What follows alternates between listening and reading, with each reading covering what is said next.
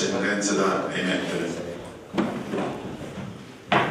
Ma sulla quale qualche osservazione di, di metodo e di principio vorrei farla molto probabilmente come mi sempre capita mi è sempre capitato quindi capiterà anche questa sera che deluderò tutte le tifoserie in campo perché io sono contro le tifoserie non sono mai appartenuto alle tifoserie e ho sempre cercato di valutare le situazioni che ho incrociato come amministratore pensando a una formuletta che tutti quanti richiamiamo ma di cui tutti quanti ci dimentichiamo perché apparteniamo alla tifoseria. E confondiamo l'interesse generale il bene comune come diceva Giorgio Lapira con quello che è l'interesse della tifoseria.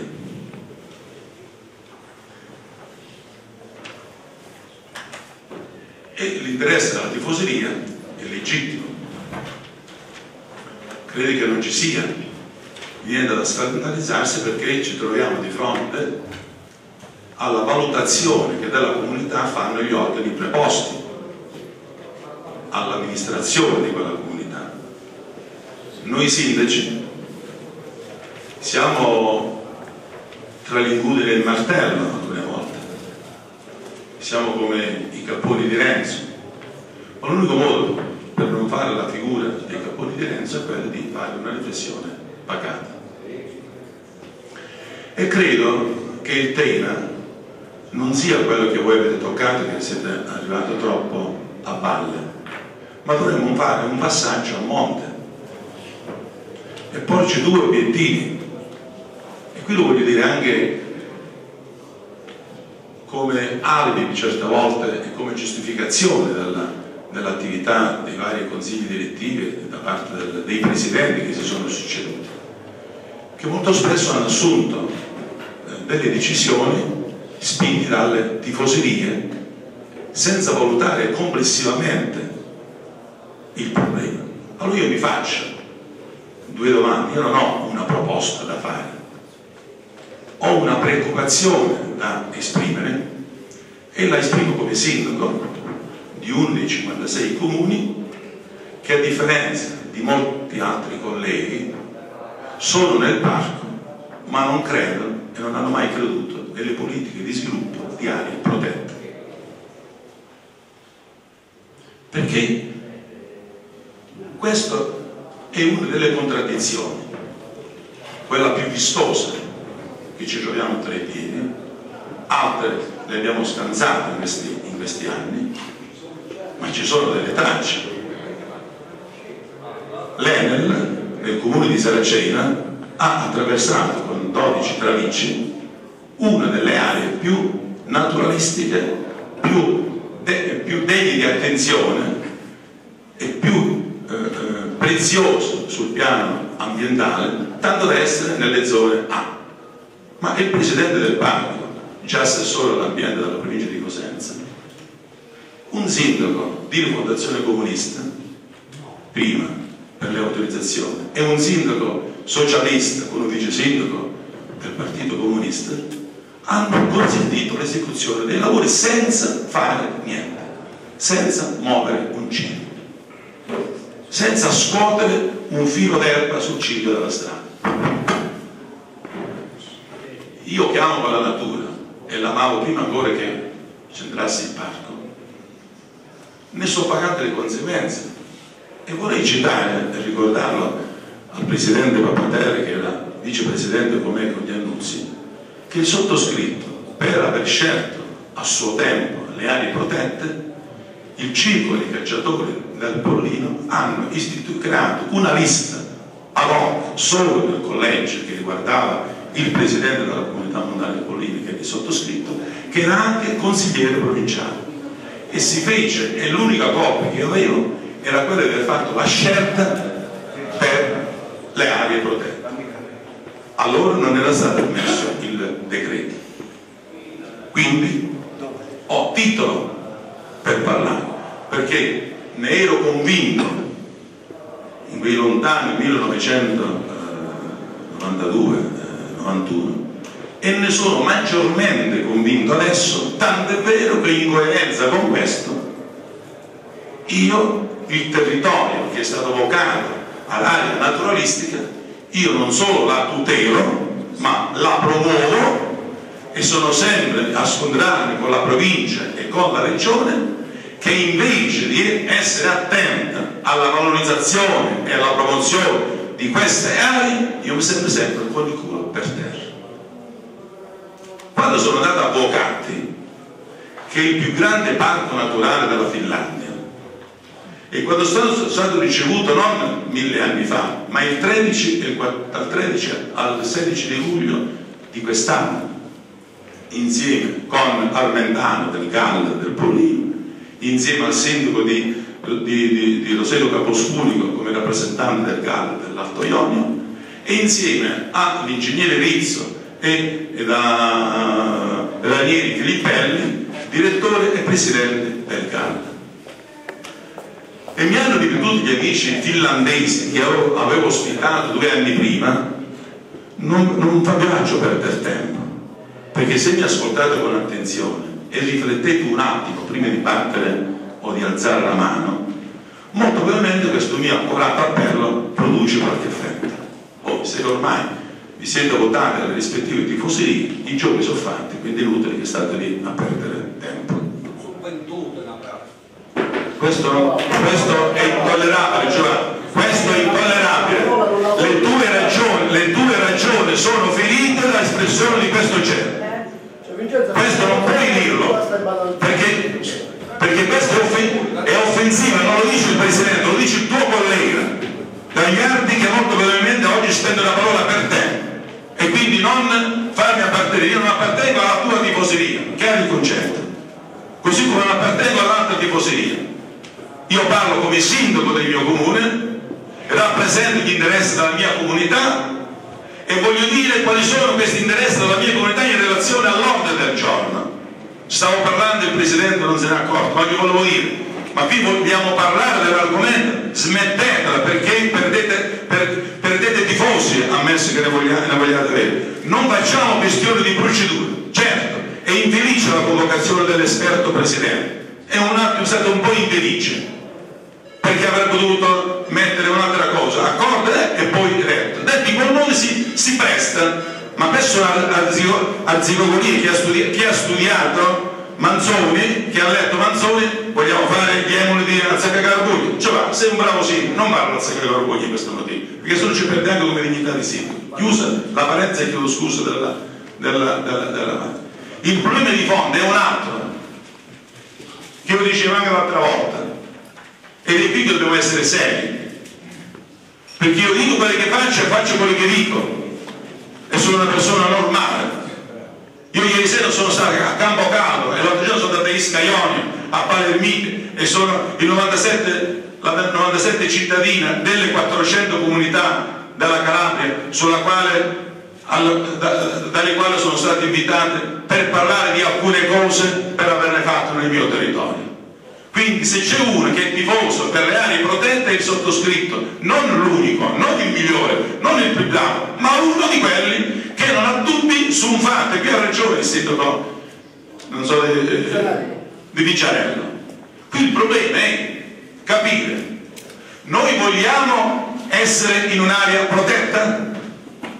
Noi crediamo alle politiche di sviluppo coerenti con le aree protette.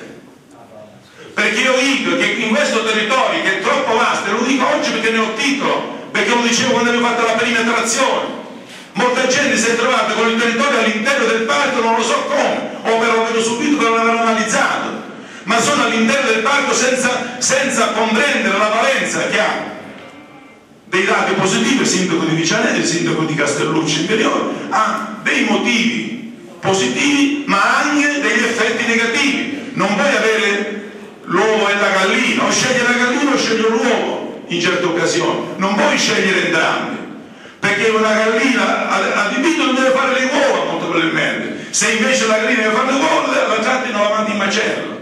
Allora noi stiamo pagando le conseguenze di un parto la cui perimetrazione è stata fatta alla cazzo di cane e ci sono all'interno di, di questa perimetrazione ci sono delle amministrazioni comunali che sviluppano politiche non coerenti con le aree protette.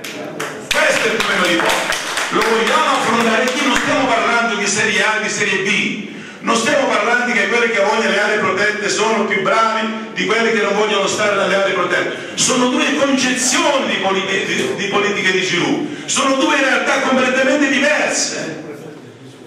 Io che punto sulle treme, come dicono molte di quelle di una tifoseria che ti accusano, che sono il sindaco delle treme, loro pensano che sia un'offesa. Io sono il sindaco della montanza, della moscata della montagna ma perché quelle tre fanno parte dell'archetipo di una politica ambientale che punta sulla tutela integrale delle aree per poterlo utilizzare ai fini turistici, sì, ma se c'è una centrale non dovete parlare di turismo. Questo è il concetto. È legittimo che voi non puntiate sul turismo, che puntiate sull'infrastruttura, è legittimo ci sono dei territori che sono ricchi perché non hanno puntato su politiche di sviluppo che hanno la tutela e la valorizzazione della fruizione.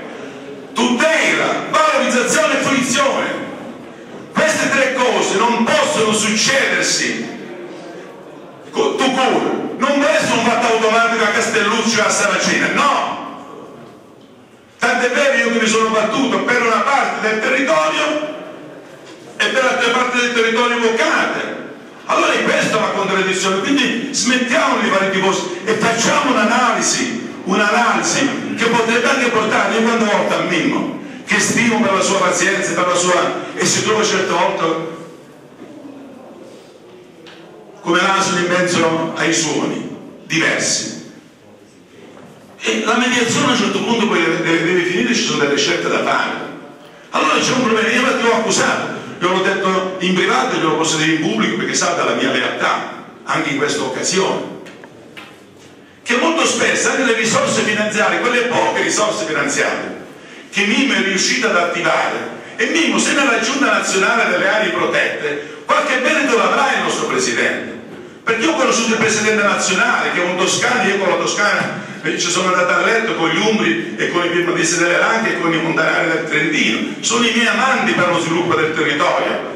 Anche se qualcosa poi mi incazzo quando arrivo che noi abbiamo la montagna del Trentino, la campagna delle Langhe Piemontesi, la campagna Umbra e la collina, e la collina e abbiamo una regione che ha tutte e quattro questi elementi e non riesce a sviluppare nessuno di questi quattro elementi e siamo la regione più arretrata e facciamo la programmazione europea l'ennesima, l'ho detto a Magino, su Presidente, fammi parlare che parlo, eh, non frequento mondo e lasciati dire le cose che ti danno anche una mano come Presidente di questa Assemblea perché su questi temi dobbiamo, questi temi alti dobbiamo parlare e ci dobbiamo differenziare, dobbiamo essere amici per non litigare con i tifoserie che non andiamo da nessuna parte e ne deve decidere il TAR o il Consiglio di Stato quello che deve fare una comunità o, un, o intere comunità. E questo è il problema. Tre parchi nazionali, 700 km di costo, un grande, un grande patrimonio storico, naturalistico, monumentale, di cui ci vantiamo. Il codice di Sporpulso di Rossarese non sa neanche che cazzo è oppure la cattolica di stile pensano che sia, che sia la, la, la, casetta delle fate, di Fata Morgana. E noi abbiamo una sproporzione fra le condizioni socio-economiche di questa regione e la grande ricchezza. Quante cose inutili abbiamo fatto, fatto pensando che, siano, che erano utili e quante cose inutili non abbiamo fatto pensando, dimenticando che fossero utili. C'è un professore universitario della nostra università che ha fatto un bel livello ripercorrendo tutta la storiografia dei più grandi autori del Novecento, dell'Ottocento e dell'età medievale sulle cose inutili. Ma perché non è stata una cosa inutile il gruppo Andrei? Non è stata una cosa inutile il gruppo Destri di Cetrà? Non è stata una cosa inutile la, la devastazione della pianta in gioia a tavola per l'ipotetico quinto centro siderurgico e quella merda di ponte che, di, di porto che è il porto di tutte le mafie del mondo? Se questi soldi spesi per questi investimenti industriali sulla base della illusione industrialista, se l'avessimo, se l'avessimo investite in tutela del territorio e, e avrebbero fatto diventare paesaggio, a Montalcino fanno il pelo regolatore e vale per me che sono in un comune più disgraziato di tutti quanti gli altri E però c'è un'autocritica di dire di come, si, di come si deve fare il paesaggio olivicolo, le città dell'olio, le città del vino, noi siamo tutte queste cose. Allora scegliamo, per ritornare adesso dai massimi sistemi alla realtà concreta. Se l'Enel, ho fatto i conti, ci dà 21 milioni di euro in 8 anni, un motivo ci sarà. C'è l'Enel, non regala niente a nessuno. Perché all'Enel che io detto mi hai messo questi radici, dammi un po' di soldi, dice no, io non, non sono più e mi ha mandato la terra. Terra dice eh sì, vi dovete muovere quando c'è la cosa. E mi hanno fregato l'uno e l'altro. Allora, qui dobbiamo decidere una cosa. Partiamo da nostro. Se qui sbaglio i tecnici mi smentiscono. Ho finito. Non dovete essere impazienti. Le tifoserie, per favore. Vai, vai, no, no, non può essere che non qua. Io sono un cazzone, quindi ci metto 10 minuti. Poi tu sei molto intelligente, vieni a dirlo a due in 3 secondi. Se invece devi stare zitto perché devi far ascoltare. Sentalo, vai avanti. Perché stiamo parlando non di noccioline. Chiaro? Se invece tu hai già pensato come spendere i soldi dell'ENA, allora è chiaro che sei distratto. Eh vabbè, ma continua però. Sì, vabbè. No, tu non fai il professore. Perché non ti Eh no, via a quelle che che ha disturbato e non fare le libertà e così via. Che se ma, stai zitto, ma stai zitto, che tu, che tu hai responsabilità di queste cose. Che con i movimenti devo dire le cose e poi ti liberi le altre nel consiglio di Dio. Quindi stai zitto, stai zitto. Io sto parlando di contenuti. Se uno mi provoca io avanti, Quindi non, accetto provocazioni. E non mi mancano gli attributi e la cultura per rispondere ai provocazioni. Eh, penso per 5 minuti. E rispetto, a, e rispetto a questo punto, quando facciamo la legge dei 5 minuti, smettono a 4 minuti e, e- e 58 secondi. Allora la, la mia domanda, perché io dico che noi ci dovremmo prendere un brevissimo, un brevissimo lasso di tempo per porci due domande e poi fare una domanda, non all'Enel, non lo so a chi. Le due domande ci dobbiamo fare è questa. All'interno delle aree protette, una centrale è, è una contraddizione. Carico concetto.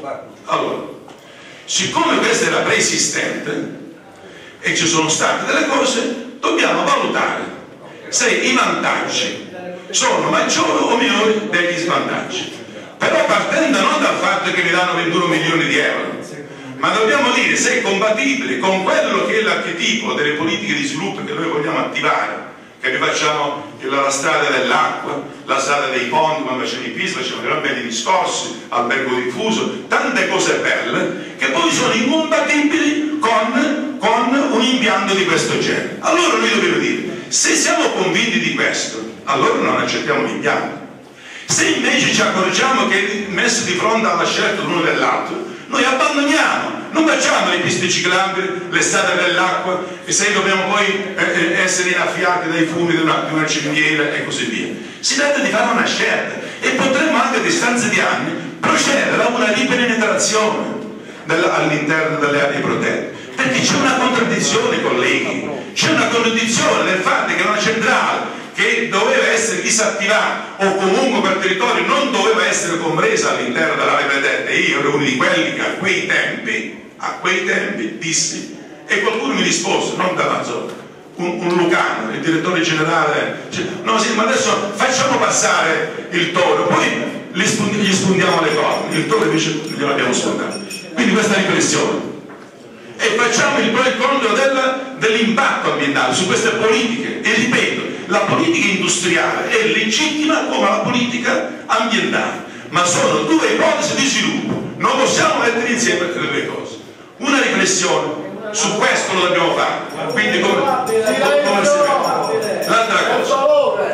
ammesso e non concesso, c'è un'autorità sanitaria non in, se- in senso strettamente eh, diciamo di medicina interna, ma di quelle che può essere di termometro, di termometro. Allora io chiedo che non lo so che non ho approfondito la materia, vi chiedo scusa su questo aspetto, mentre sono apodittico sulla prima parte, che c'è una contraddizione, che non tutti crediamo nelle politiche di sviluppo delle aree protette, ma ci stiamo dentro pensando di mettere l'una e l'altro, su questo non ho dubbi. Mentre su questo non lo so, quindi vi chiedo scusa per aver, non aver approfondito la materia. E mi rifaccio a quello che dicevo, finisco, il sindaco, il collega. Le conseguenze a breve, a medio e a lungo termine. Un istituto pubblico che possa dire alle popolazioni e anche a Saraceno a questo punto, perché se voi dite che l'Enel dà delle compensazioni ai sette comuni e poi ne dà uno all'ente parco come altri, vuol dire che l'Enel riconosce che anche se Saraceno non è nell'ambito dei sette comuni, comunque ha diritto a una compensazione pure perché è all'interno del parco, per cui può dire, darsi, quindi vuol dire che anche la mia comunità dovrebbe essere risarcita perché le somme che si danno all'ente parco lo si dà complessivamente per l'intero territorio, se no non, non, non l'avrebbe dato. Allora su questo io vorrei essere un attimo più tranquillo e sapete chiedere al Presidente del, del parco e al Presidente dell'Assemblea della, della comunità se è stato fatto e se è stato fatto se dalle letture di questo chi l'ha letto può escludere può escludere. Escludere non ipotetico. E può scrivere nei prossimi secoli non per accorgere dopo quando dopo dobbiamo scegliere la salute e il lavoro. No io non voglio avere il dramma o la salute e il lavoro. Io vorrei il lavoro e stare in salute. E quindi, quindi penso che ci siano delle tecniche e degli enti e, e delle autorità che ci possono su questo io crederei, ve lo dico sommessamente, con grande senso di umiltà, anche se l'autore accorato, non scambiatelo come presunzione, ma prendetelo come preoccupazione personale della mia comunità e la voglio rivolgere alle altre comunità con la umiltà di chi si sente un amico insieme ad altri amici e per fare reti insieme, perché insieme andiamo lontano, da soli, possiamo fare anche un tratto di strada velocemente, ma alla fine rimaniamo in piedi. Per cui facciamolo una riflessione rispetto a questo. Grazie, chiedo scusa se ho forato i tempi allora, che vi erano stati. Da questo momento poi 5 minuti. Ah, sì. ah.